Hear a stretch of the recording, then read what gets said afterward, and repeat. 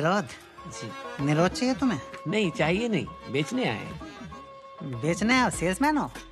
हाँ सेल्समैन है। सेल्समैन। क्या है ना वो एक नई कंपनी आई है।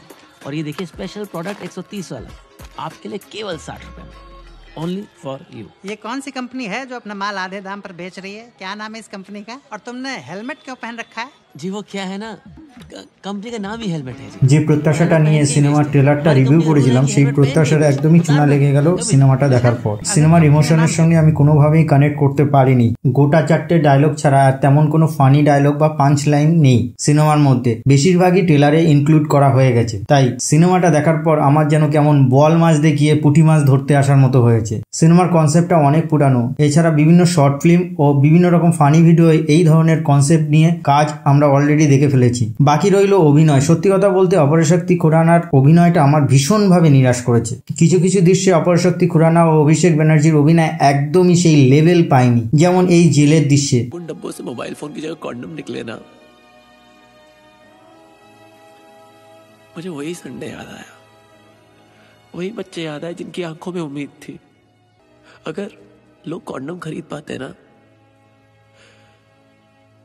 शायद इस दुनिया में अनाथ बच्चों की संख्या कम होती অভিষেক ব্যানার্জিকে দেখে বরং আমার হাসি পাচ্ছিল ডায়লগের সঙ্গে ইমোশন ঠিক কানেক্ট হচ্ছিল না কারণ ইললজিক্যাল ডায়লগ আর এই দৃশ্যের সঙ্গে ঠিক ম্যাচ করছিল না আসল ব্যাপারটা হলো আশিস বারবার অভিনয় ছাড়া আর তেমন কারো অভিনয় আমার ভালো লাগেনি আমি জানি না এখন কে বা কারা কন্ডমের কথা বললে মারধর করে সিনেমার গল্পটা প্রায় ট্রেলারেই দেখানো হয়েছে তাই নতুন করে সিনেমার গল্প নিয়ে আলোচনা করার কোনো জায়গা নেই কেমন যেন একটা সিনেমাটা জমিও ঠিক জমলো না এমনভাবে এই বান্টি ভাই মানে সারিফ হাসমি কন্ডোমের বেনিফিট নিয়ে আলোচনা করছে, যেন প্রোডাক্টটা মার্কেটে নতুন এসছে।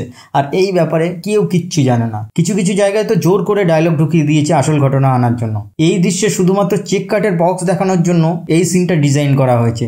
ভাই, চুরি করা প্রোডাক্ট সেটা আবার উপরে কোম্পানির লেভেল লাগানো বক্স সেটা কে রেখে দেয়? আবার সেটা কাস্টমারকে বিক্রিও করছে। আজব সত্যি। সিনেমা আমার বিলো এভারেজ লেগেছে। যারা যারা ট্রেলারটা অলরেডি দেখে ফেলেছো, তাদের সিনেমা দেখার দরকার নেই। আর যারা যারা ট্রেলারটা এখনও দেখোনি, তারা বিনা ট্রেলার দেখে সিনেমাটা দেখে নাও। অবশ্যই সিনেমাটা ভালো লাগবে। কেননা একই ডায়লগের ওপর দুবার তো হাসতে কারোর ভালো লাগে না। মানে প্রথমবার যতটা হাসি পায়, দ্বিতীয়বার ততটা হাসি পায় না। আমরা অলরেডি ট্রেলারটায় দেখে নিয়েছি পাঁচ লাইন তবে হ্যাঁ সিনেমার মধ্যে আরও দুটো তিনটে আছে যেগুলো অবশ্যই ভালো লাগবে। যেমন এই ডায়লগটা এবার আসি মূল কথায়। এই ভিডিওটা যদি আপনার ভালো লেগে থাকে অবশ্যই ভিডিওটা লাইক করে দেবেন আর কমেন্ট করে জানাবেন আপনাদের সিনেমাটা কেমন লেগেছে। আর হ্যাঁ এই ধরনের আরও ভিডিও পেতে গেলে আমার চ্যানেলটা অবশ্যই সাবস্ক্রাইব করবেন। তো দেখা হচ্ছে পরবর্তী video till then take care and goodbye এই হেলমেট কায় রে আমার?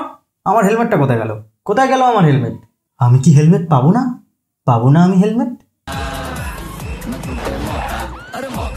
mocha, mocha, mocha, mocha.